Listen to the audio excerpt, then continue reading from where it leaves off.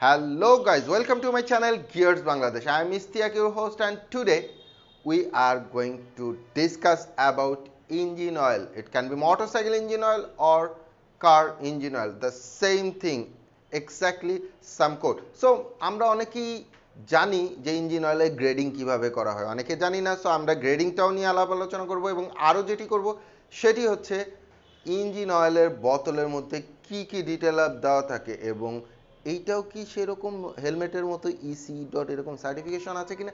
এগুলো নিয়েই আজকে আমাদের এই ভিডিওটি। সো চলুন ভিডিওর পরবর্তী অংশে।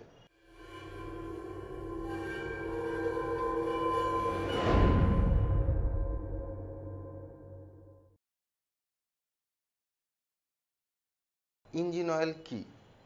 এবং কোন ইঞ্জিন অয়েলটা আমাদের কেনা উচিত? সো ইঞ্জিন অয়েল অ্যাকচুয়ালি ইঞ্জিনের ভেতরে যেই অয়েলটা ইউজ করে, যেটি ইঞ্জিনকে সুন্দর করে স্মুথলি চলার জন্য সাহায্য করে, সেটি হচ্ছে ইঞ্জিন অয়েল এবং ইঞ্জিন অয়েল কখনোই expensive one not the best one actually expensive engine oil যে সবসময় বেস্ট হবে সেটা না। বেস্ট ইঞ্জিন অয়েল হচ্ছে যদি বেস্ট ইঞ্জিনিয়ার থাকে। ইঞ্জিন অয়েলের তিনটি ক্যাটাগরি থাকে। একটি হচ্ছে মিনারেল সেমি সিনথেটিক সিনথেটিক এই সিনথেটিকের মধ্যেও ভাগ আছে সেমি সিনথেটিকের মধ্যেও ভাগ আছে এবং মিনারেল মধ্যেও ভাগ আছে। সো কোম্পানি ওয়াইজ এটি অনেক ডিটেল আপ করা। সো ডিটেল আপ যেহেতু করে এক একটা টেকনোলজি ব্যবহার করা হয় টেকনোলজির উপরে এক একজন এক এক নাম দেয়। লাইক সেমি সিনথেটিককে অনেকে টেকনো সিনথেটিকও বলে। আবারও দেখা যায় full synthetic hundred percent synthetic R lots of variant but প্রধানত তিনটি ভেরিয়েন্ট থাকে। সো মাল্টিগ্রেড, অনেকে মাল্টিগ্রেডের নাম শুনেছেন, অনেকে শুনেন নাই। পঞ্চাশ বছর আগে পর্যন্ত মাল্টিগ্রেড ইঞ্জিন অয়েল পাওয়া যেত না, ব্যবহার হতো না। তখন কি হতো?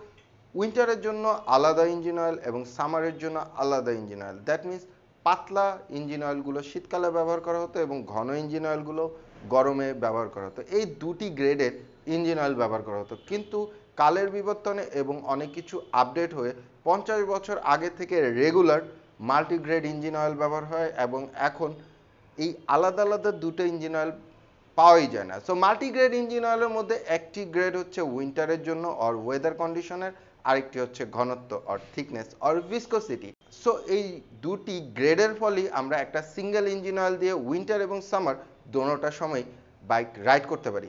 এবার আসুন আমরা আরেকটু ডিটেল যাই 10W what is 10W 10W W হচ্ছে winter. It's not what or it's not anything else.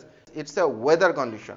পরবর্তীতে আসে 40 কারণ মাল্টি গ্রেডের একটি গ্রেড হচ্ছে 10 অ্যানাদার হচ্ছে 40 দ্যাটস আ ভিসকসিটি সো 40 দিয়ে কি বোঝানো হয়? 40 দিয়ে বোঝানো হয় যদি আপনার বাইকটি 100 ডিগ্রি সেলসিয়াসে একটি নির্দিষ্ট ভিসকসিটি লেভেলে যাবে।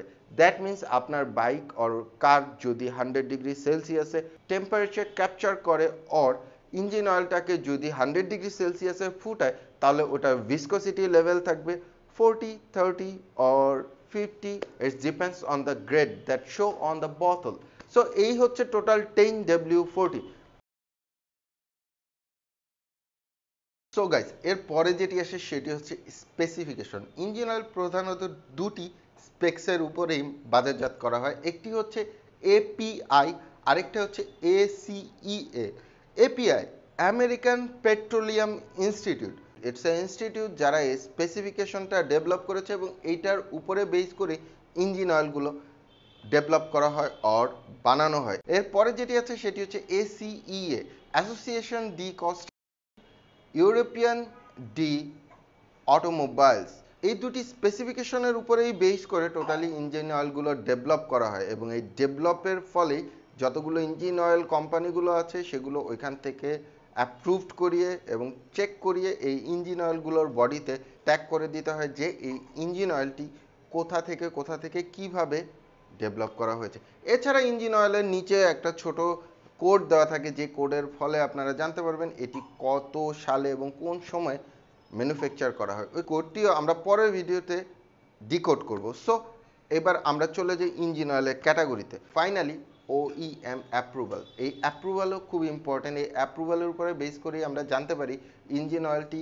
কোন ক্যাটাগরি অর কি ধরনের ইঞ্জিন অয়েল ভিডিওর প্রথমেই আমি যেটি আপনাদের সাথে শেয়ার করেছি, সেটি হচ্ছে এক্সপেন্সিভ ইঞ্জিন অয়েল সবসময় সব ক্ষেত্রে ভালো হয় না। এক্স্যাক্টলি এক্সপেন্সিভ ইঞ্জিন অয়েলই যে ভালো হবে, এটাও না।